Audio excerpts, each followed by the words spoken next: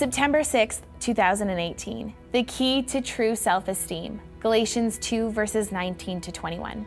Did you know that having an incorrect view of yourself affects your ability to have faith? As believers, we sometimes think that God wants us to think poorly of ourselves, but we have to remember that God made us. Why would He want us to think that His creation is junk? God doesn't want us so self absorbed that we think we don't need Him. He wants us to trust and rely on Him to come through for us. The trouble is, when we have poor self esteem, we're just as guilty of being self absorbed as those who don't think they need God. We may not be arrogant and narcissistic, but we're still self focused. We're trying to rely on our own deeds and skills to earn God's love and acceptance. The answer isn't arrogance and it isn't self deprecation either. It's to develop a more Christ focused, grace based view of yourself.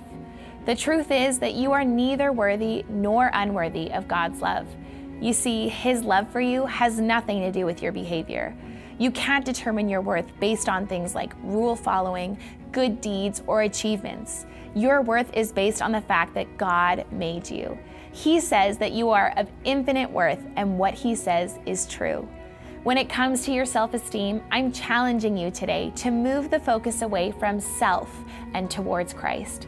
The message version of Galatians 2, verses 19 to 21, is a fantastic read on this topic, summed up at the end by today's verse.